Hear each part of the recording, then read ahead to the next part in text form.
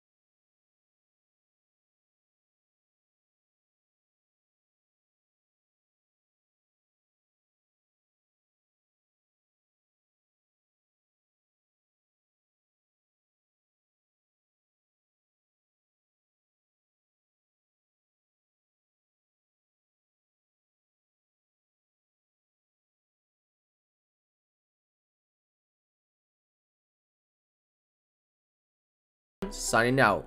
Peace.